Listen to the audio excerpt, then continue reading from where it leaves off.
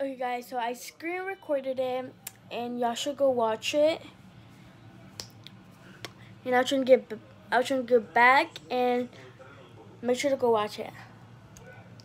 Make sure to go watch the the screen record I I posted right now.